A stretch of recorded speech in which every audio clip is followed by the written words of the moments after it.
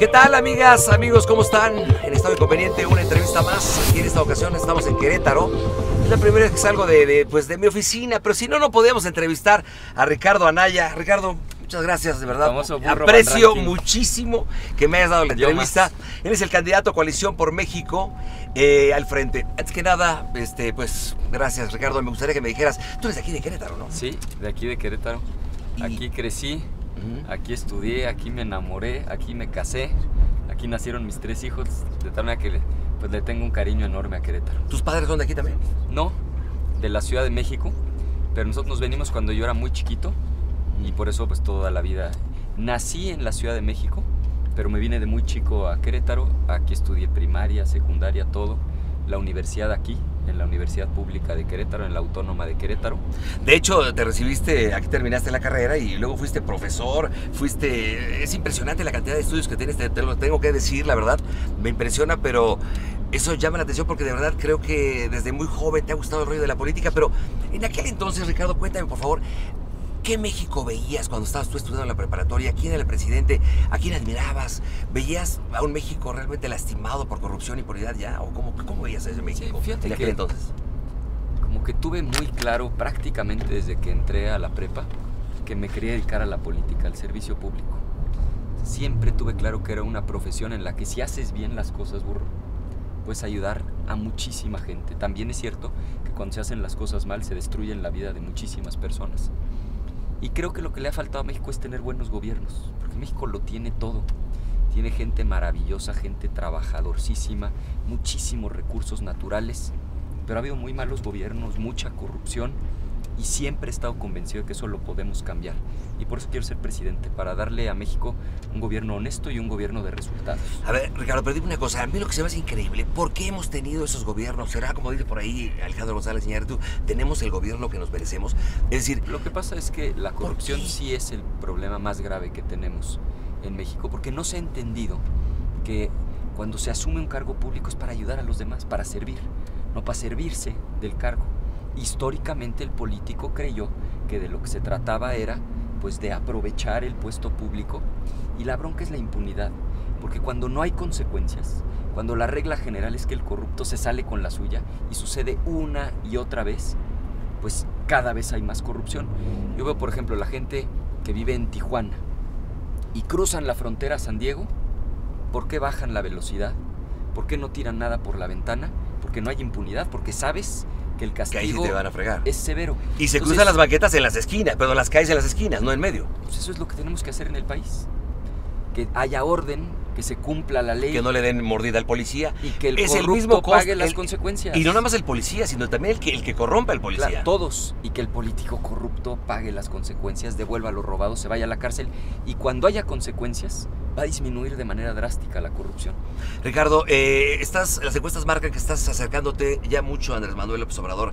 Eh, ¿Tú crees que esto ya se confirma una carrera o una- un debate, una guerra ya entre dos? Bueno, no Sí, guerra, Estoy sino convencido ya de entre dos. que es, es entre dos. Eh, No veo ninguna posibilidad para el PRI. Prácticamente desde el último debate quedó muy claro que la única coalición que le puede ganar a López Obrador es la nuestra. Tenemos visiones muy distintas de lo que hay que hacer para el país y estoy convencido que vamos a ganar. Convencido que vamos a ganar de manera contundente el primero de julio ser un muy buen gobierno.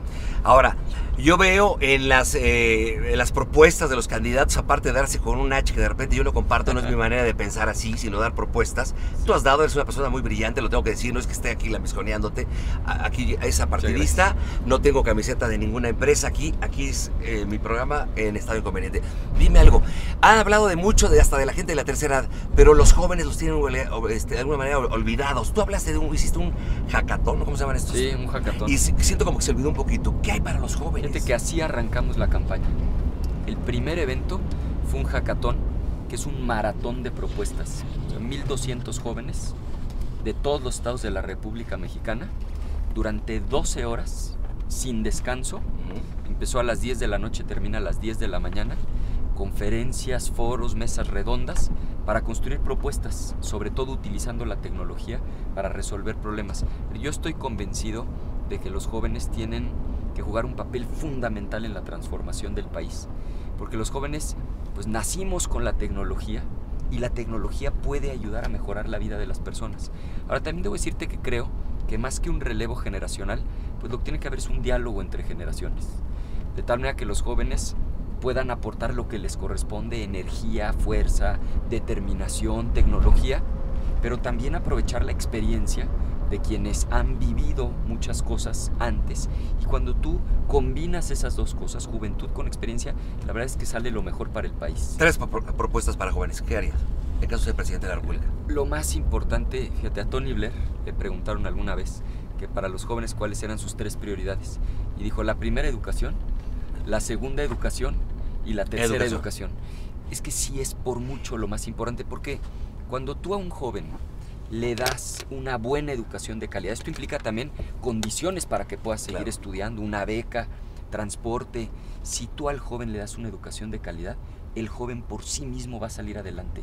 Los jóvenes no quieren limosna, lo que los jóvenes quieren son oportunidades. Y trabajo, claro. Y la mayor oportunidad es la educación. Ahora, a partir de ahí hay que generar oportunidades, porque también está pasando que muchos jóvenes, pues recién egresados, no encuentran trabajo. Ahí está el otro reto, educación y trabajo. Fíjate, Ricardo, yo he visto cuando hay desgracias, digo, terriblemente lo que acaba de pasar con los terremotos, todo ese rollo, donde principalmente le pegan, es lamentable que no se les ocurra a los gobiernos, donde le pegan es a la educación mucho y dos, a lo que es el sector salud. ¿Estás de acuerdo conmigo? De repente les recortan, pues digo, mi, mi sobrino trabaja en un hospital y de repente les recortan esas cosas, pero el principal problema de este país es la educación. ¿Cómo hacerle para crecer más escuelas, para que haya otras, no sé, más oportunidades para todos ellos? Mira, son dos retos principales.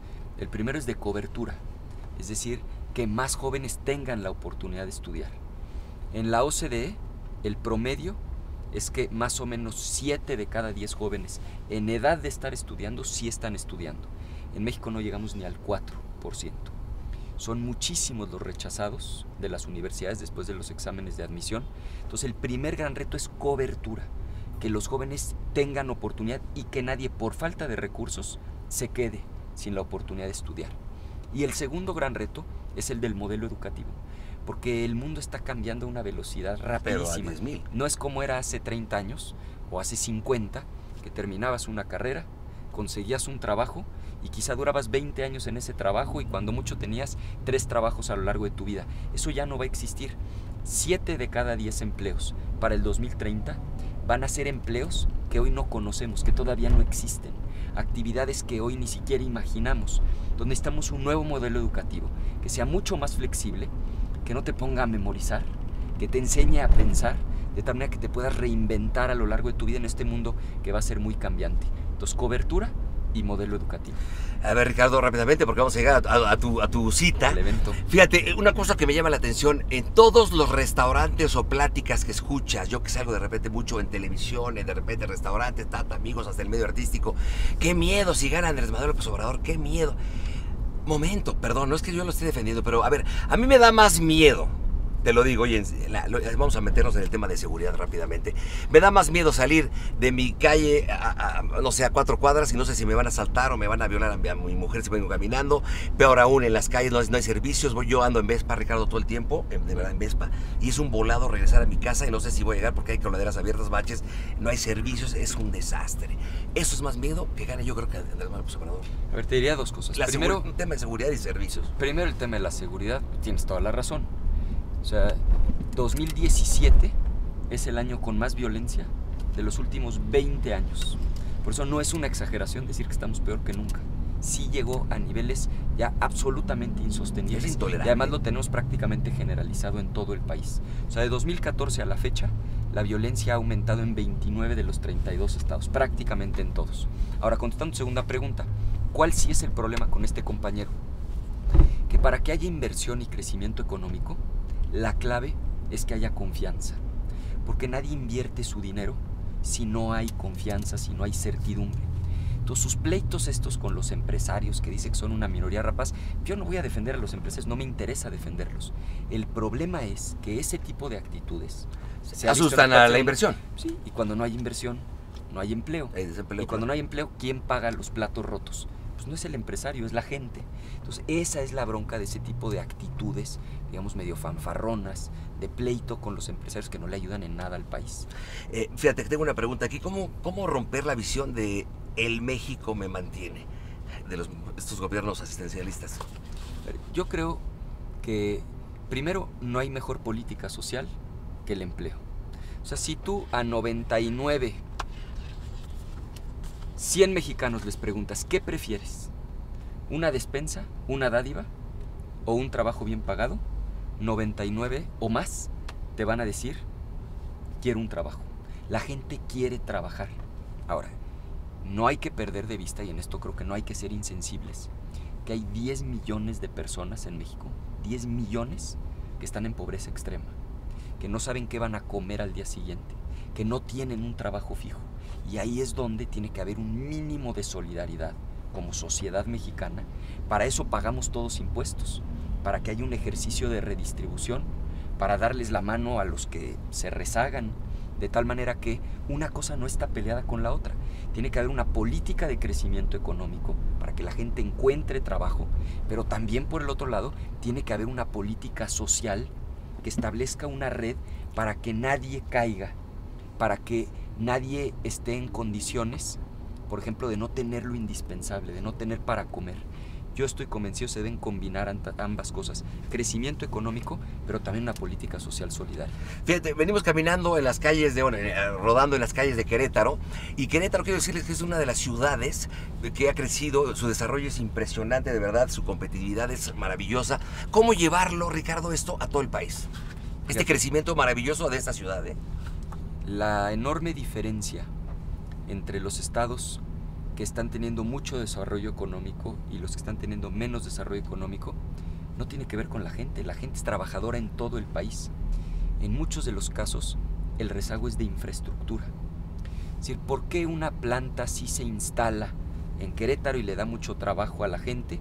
¿Y por qué en ciertos estados del sureste no se instalaría?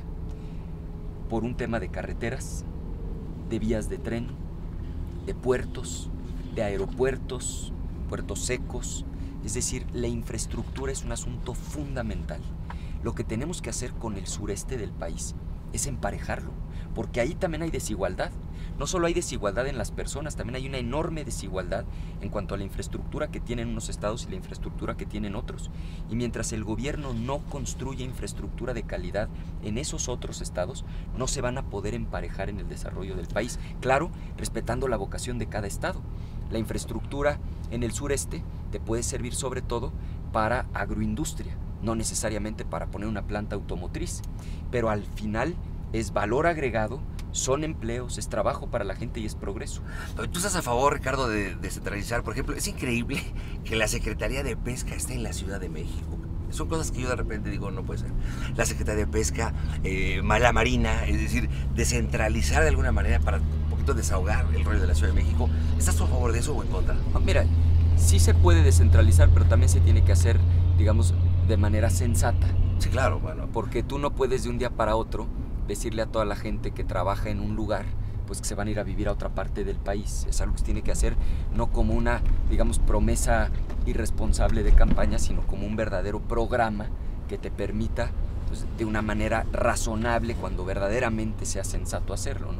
Oye, eh, Ricardo, eh, a ver, eh, cambiando un poquito de, bueno, dime, ¿cómo podrías de alguna manera pues, reconstruir ese tejido social que de repente está muy, de alguna manera, muy marcado, muy dañado, muy... Se ve luego, luego en la balanza como muy separado. ¿Cómo reconstruir? ¿Cómo volver a, pues, hacer ese México padre, que todo el mundo pues, se vea la diferencia? tiene que ser la consecuencia de resolver los grandes problemas del país. Primero está el tema de la corrupción. Habiendo tantas carencias, pues es de veras inaceptable que los políticos corruptos se roben el dinero de la gente. Segundo, hay que resolver el problema de la seguridad. Hoy los vecinos ya no confían entre sí, ya no se hablan, porque hay un clima de inseguridad que se ha vuelto, como decíamos hace rato, terrible. Tercero, necesitamos una política social bien planteada para que nos podamos emparejar invertir en educación, tener buenos espacios públicos, parques, jardines, ciudades bien iluminadas, en la medida en la que vayamos resolviendo los distintos rezagos que tiene el país, eso que llaman tejido social se va a recuperar como algún día lo tuvimos en el país, donde la gente pueda vivir mejor, donde confiemos unos en otros, donde nos ayudemos a salir adelante. Y creo que en eso Tiene mucho que hacer la gente, pero también tiene muchísimo que poner el gobierno. Tres cosas y terminamos. La primera, a ver, dime algo. ¿Tú eh, de alguna manera crees que... eh, ¿Sabes dónde te estás metiendo, Ricardo? Sí, sí, sé dónde. ¿Sabes dónde te estás metiendo? Es decir, ¿qué dice tu familia? Es decir, tu esposa, tus hijos, bueno, tus hijos están muy chiquitos, pero ¿qué dicen? Es decir, no puedo creer. ¿Sabes yo te la podría- bronca que te estás Yo metiendo? te podría preguntar lo mismo a ti. Eh, Las cosas importantes en la vida nunca son fáciles. Al final, Hay un, cuando uno un comercial escoge- por ahí, ¿te acuerdas? Que decía, este, cual- cualquiera las haría si fueran fáciles, ¿no? Claro, lo que vale la pena en la vida no es fácil. La política es muy dura porque hay una competencia feroz, porque hay gente que juega muy sucio, pero también da una enorme satisfacción saber que puedes ayudar a transformarle la vida a los demás, que puedes mejorar tu país. El reto es ese, que cada quien desde la responsabilidad que tengamos desde nuestra trinchera, pongamos lo mejor de nosotros mismos para sacar adelante a México. La segunda, ¿duermes tranquilo? Sí duermo tranquilo. Cuatro horas o tres. Yo creo que es porque tengo la conciencia muy tranquila. Pero no te levantes de repente y dices, "Ay, lo que luego no con ideas, no, no en campaña se duerma". duerme poco. Nosotros tenemos rueda de prensa todos los días a las 7. Entonces yo me levanto a las 5, hay que preparar la rueda de prensa, luego llegar a donde la damos. Pero las horas que duermo las duermo muy bien. Te veo muy tengo- delgado, eres- Tengo la ¿comes conciencia bien? tranquila. Como bien, hago ejercicio. ¿A qué hora lo haces? cuerpo sano. ¿A qué hora lo haces? Ranking. No, ahorita en campaña es muy complicado, pero son periodos. Nos quedan ahorita 50 días más o menos de campaña.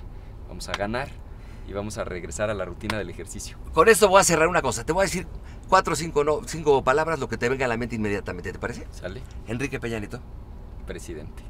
Que tiene que cambiar ese partido porque están haciendo las cosas muy mal. Andrés Manuel López Obrador, Un contrincante.